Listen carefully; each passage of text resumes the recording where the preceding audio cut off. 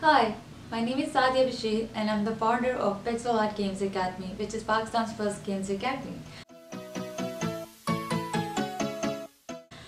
I graduated from computer science with the dream of becoming a game developer.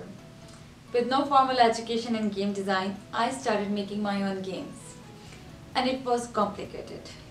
Four failed project and I was ready to quit. And then I started working in the game industry working for others' ideas under strict deadlines and zero creativity. Six years down the road, and I wasn't growing. This is not just my story. This is the story of every Pakistani who wants to become a game developer and bring innovative ideas to this field.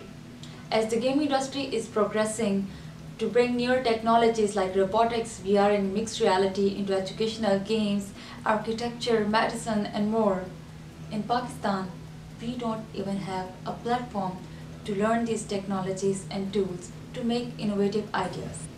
At Pixel Art Games Academy, we provide collaborative learning experience. We do not only provide technical skills but also soft skills like communication, project management, public speaking, leadership, and ability to build complete independent products with diverse teams.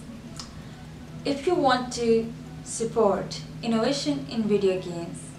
What for Pixel?